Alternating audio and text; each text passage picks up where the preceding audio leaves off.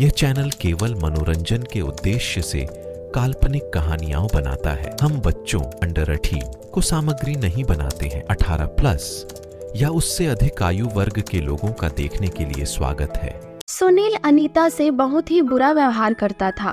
तभी अनीता मन में सोचती है, इनको दो महीने से देख रही हूँ। क्या हो गया है इनको? मुझसे हमेशा चिल्लाकर बात करते हैं। चलो छोड़ो, काम का भी तो प्रभाव पड़ सकता है। अनीता मन को तसल्ली देते हुए खुद से कहती है। तभी अनीता की देवरानी सेजल उसको आवाज़ देती है। दीदी, कहाँ गई आप? थोड़ा किचन में रोटी सेक दीजिए तो मैं कुछ काम कर रही हूँ। हाँ ठीक है सेजल। अनीता बहुत ही भोली और सिंपल स्वभाव की महिला थी, परंतु सेजल अनीता की बिल्कुल विपरीत थी। सेजल आजकल की मॉडर्न जमाने की महिला थी। तभी सेजल मैंने तुमसे कितनी बार कहा है कि तुम ज़्यादा फ़ोन यूज़ मत किया करो और अपनी फ़ोटो सोशल मीडिया पर अपलोड मत किया करो। तुम्हें मेरी बात समझ क्यों नहीं आती है? क्या होता है तो आजकल की सभी महिलाएँ सोशल मीडिया पर बहुत ही ज़्यादा एक्टिव रहती हैं। वे लोग तो सोफिया जैसे हरकतें करके लाइक और व्यूज़ ला रहे हैं। मैं तो सिर्फ़ फ़ोटो ही अपलोड करती हूँ। फ़ोटोज़ भी अपलोड करना बंद कर दो तुम वरना मुझसे बुरा कोई नहीं होगा। सोशल मीडिया उन लोगों के लिए है जिनके पास टैलेंट हो। तुम इन सबसे दूर ही रहो तुम्हें ये जितना अच्छा लगता है, उतना खतरनाक भी है, समझी तुम। अब मैं चलता हूँ। तुम्हारे चक्कर में आज ऑफ़िस के लिए भी लेट हो गया। अनुज के इतना समझाने के बावजूद भी सेजल दिन भर फ़ोन में ही घुसी रहती। जब भी अनुज काम करके घर वापस आता तो भी वह फ़ोन में ही लगी रहती। धीरे धीरे अनुज ने भी उसे बोलना छोड़ दिया। सब रोज की तरह चल रहा था। देखते ही देखते 2024 का जनवरी माह खत्म हो गया। और पतझड़ गर्मी का मौसम आने लगा। तभी सुनील अनीता मुझे ठंडी शरबत चाहिए नींबू मार के।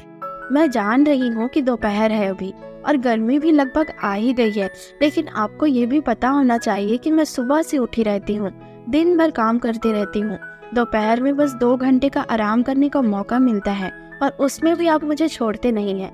जाइए रसोड़े में देवरानी जी होगी वो अपने लिए बना रही होगी शरबत तो आप एक गिलास अपने लिए भी बनवा लेना। अब मैं सो रही हूँ। तभी सुनील कहता है क्या बात है? मुझे तो कुछ कहने का मौका ही नहीं दिया। कोई बात नहीं बहू से ही बनवा लेता हूँ। सुनील किचन की ओर चला जाता है। जब वह किचन पहुँचता है सेजन किचन में नहीं होती है। क्या मुझे बहू के कमरे में जाना चाहिए? चला जाता हूँ एक ग्लास शरबत की ही तो बात है। वह सेजल के कमरे की तरफ़ आगे बढ़ता है। जैसे ही कमरे में पहुँचता है वह अपने कमरे में नहीं रहती है। तभी उसे गुनगुनाने की आवाज़ सुनाई देती है। वह आवाज़ बाथरूम से आ रही थी। सुनील बाथरूम की ओर आगे बढ़ता है। उसके बाद जो वो देखता है, बिल्कुल पागल सा हो जाता है। सेजल नहा रही होती है। सुनील चुपके से सेजल को नहाते देखते रहता है और स्टैचू की तरह खड़ा रहता है। जैसे ही सेजल नहाकर कपड़े पहनकर बाहर आने को होती है, सुनील वहाँ से भाग जाता है। वह सीधे अपने कमरे में जाता है और बैठकर लंबी सांस लेता है। अब सुनील सेजल के लिए पागल सा हो गया। एक रात सुनील छत में अकेले सिगरेट पीते रहता है और खुद से बातें करते रहता है। क्या लाजवाब फिगर है सेजल का। क्या दिखती है। कसम से हीरोइन से कम नहीं है और कहा मेरी बीवी साला देख के ही पूरा माइंड डिस्टर्ब हो जाता है। अब मुझे कैसे भी करके सेजल को अपनी ओर आकर्षित करना पड़ेगा। गर्मी का दिन था तो जल्दी से कोई सोता नहीं था। सब डिनर करके टीवी देख के टाइम पास करते रहते। थोड़ी ही देर में सुनील भी हॉल में आ जाता है और सारा परिवार टीवी देख रहा होता है। लेकिन सुनील अपने कमरे में जाकर सो जाता है। तभी सेजल दीदी, आज संडे है, क्यों ना हम कहीं बाहर पिकनिक मनाने जाए? गर्मी का मौसम है, किसी पानी वाले जगह पर जाएँगे तो मज़ा ही आ जाएगा। तभी अनीता कहती है बात तो सही कह रही हो, लेकिन तुम्हारे जेठ जी को ऐसे बाहर घूमना पसंद नहीं है। अब क्यों चिंता करती हो? मैं हूँ ना, मैं उनको जाने के लिए मना लूँगी। अभी कहाँ है जेठ जी, बताइए मुझे। तुम सच में उन्हें मना लोगी क्या? हाँ दीदी, अब सब मुझ पर छोड़ दीजिए। ठीक है, कोशिश करने में क्या जाता है, वो अभी कमरे में है, मैं गमले में पानी देकर आती हूँ। सेजल सुनील को मनाने जाती है। जेठ जी, आपसे एक दरख्वास्त करने आई हूँ। क्या आप मेरी दरख्वास्त पूरा करेंगे? सुनील सबसे पहले तो सेजन को ऐसे घूरता है जैसे उसने सेजन को पहली बार देखा हो। क्या हुआ? ऐसे क्या देख रहे हैं आप मुझे? हाँ हाँ क्या बात है कहो। जेठ जी क्या आज आप पिकनिक जाना पसंद करेंगे? हाँ हाँ क्यों नहीं? कहाँ जाना है बताओ। थैंक यू सो मच जेठ जी। चलिए तो फिर चलते हैं। अनुज और सेजन अपनी कार से जाते हैं और सुनील अनीता अपनी कार से।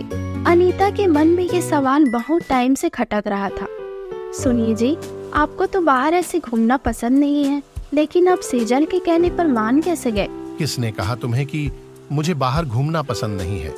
मुझे तो गर्मियों के मौसम में बाहर ट्रैवल करना पिकनिक में जाना मज़े करना बहुत पसंद है। अच्छा ठीक है। अनीता मन में इन्हें अचानक क्या हो गया? पहले तो इन्हें घूमना बिल्कुल पसंद नहीं था। कोई बात नहीं, अब घूमने का मन हो गया होगा। चारों एक समुद्र के किनारे जाते हैं और खूब मज़े करते हैं। अनुज और सुनील फुटबॉल खेलते हैं। सीज़न और अनीता नजारे का खूब घूम घूम कर मज़ा लेते हैं और आखिर में चारों नारियल पानी पीते हैं और घर की ओर निकल जाते हैं। तभी सेजन कहती है, आज तो बहुत मज़ा आया। मैं बहुत थक गई हूँ। मैं सोने जा रही हूँ। सब अपने अपने कमरे में होते हैं। सुनील भी लेटा रहता है। और वह जैसे ही आँख बंद करता था, उसके सामने वही दृश्य आता है। सेजल नहाती रहती है और सुनील छुपकर देखते रहता है। वह दृश्य सुनील को न चैन से सोने देता, न चैन से जागने देता। वह पूरा परेशान हो गया था। वह रात को चुपके से सेजल और अनुज के कमरे में घुस जाता है और सेजल को छूने लगता है। सेजल और अनुज गहरी नींद में थे, इसलिए उनको कुछ पता नहीं चला और वह चुपचाप कमरे से बाहर आ गया। तभी सेजल मन में कहती है अच्छा तो ये बात है, जेठ जी को मुझसे अट्रैक्शन हो गया है और उनको लग रहा है कि मुझे कुछ नहीं पता। गर्मी और बढ़ते ही गया और एक दिन में इंसान को दो से चार बार नहाना ही पड़ता था। ऐसे ही एक दिन सेजल अपने बाथरूम में नहा रही होती है। तभी उसे एहसास होता है कि कोई उसकी ओर आ रहा है। तभी सेजल अच्छा तो अब आप मेरे बाथरूम तक पहुँच गए। अंदर आ जाइए जेठ जी। सुनील डर जाता है और वहाँ से जाने लगता है। तभी सीज़न कहती है कोई फ़ायदा नहीं है अब जाने में। अनुज हॉल तक पहुँच गया होगा और दो मिनट में वो कमरे तक पहुँच जाएगा। जैसे ही आप कमरे से बाहर निकलोगे आपको अनुज दिखेगा। सुनील डर से बाथरूम में चला जाता है। जैसे ही सुनील बाथरूम में जाता है तभी अनुज कहता है सेजल मैं आ गया हूँ। तुम जल्दी नहाकर बाहर निकलो। आज बहुत ज़्यादा गर्मी है। मुझे भी नहाना है। हाँ बीस मिनट दो। मैं अभी तुरंत अंदर आई हूँ। ठीक है मैं उतने से जूस पीकर आता हूँ। अनुज कमरे से बाहर चला जाता है तभी सेजल क्यों? आपको मुझसे क्या चाहिए? कि आप मेरे बाथरूम तक पहुँच गए? मुझे तुम्हारे हॉटनेस ने पागल कर दिया है जब से मैंने तुम्हें नहाते देखा है। ओ ये बात है तो क्या आप मेरे साथ नहाना चाहोगे?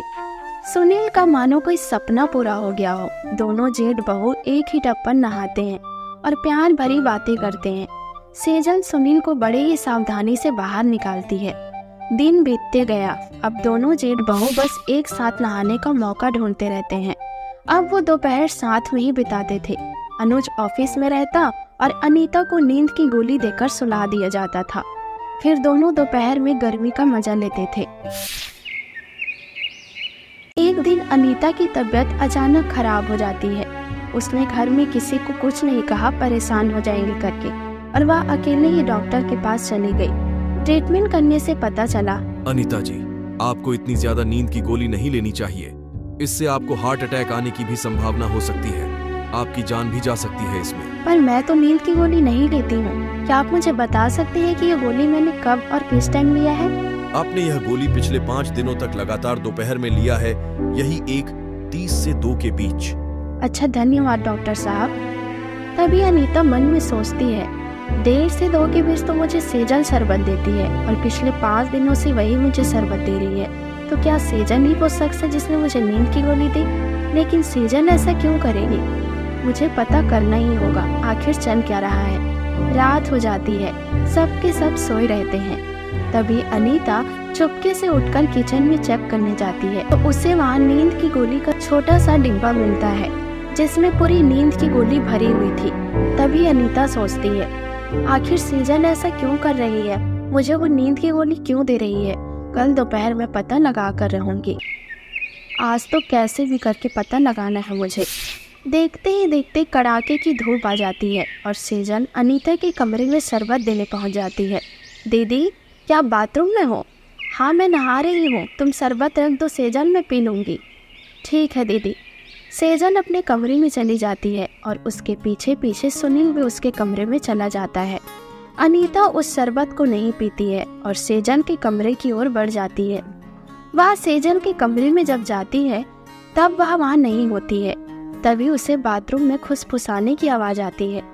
जब वह नज़दीक जाकर देखती है तो वह हैरान हो जाती है।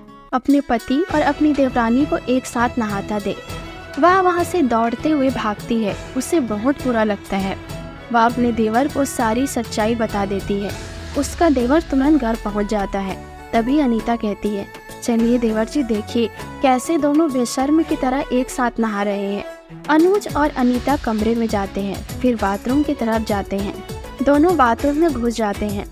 अनीता और अनुज को देखकर दोनों जेठ बहू का डर से मुँह लाल हो जाता है। तभी अनुज कहता है तुम दोनों को ये सब करते हुए शर्म नहीं आई सेजल। मानता हूँ मैं कि तुम नए जमाने की औरत हो लेकिन अपनी मर्यादा भूल जाना ये कौन सा संस्कार है? और भैया आप अरे मैं तुमको भैया बोल ही क्यों रहा हूँ? अब आपने भैया शब्द खो दिया है।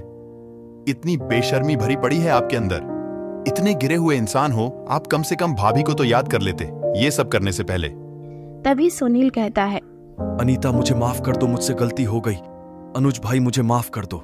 दोनों माफ़ी की भीख मांगते रह गए, लेकिन माफ़ी ना मिल पाया और सब बर्बाद हो गया। तो दोस्तों, इस कहानी से हमें ये सीख मिलती है कि आप जिस भी रिश्ते में रहो, रिश्ते की इज़्ज़त करिए और अपना मर्यादा और संस्कार कभी न भूलिए, क्योंकि कुछ गलतियाँ ऐसी हो जाती हैं कि माफ़ी भी मिलना असंभव हो जाता है।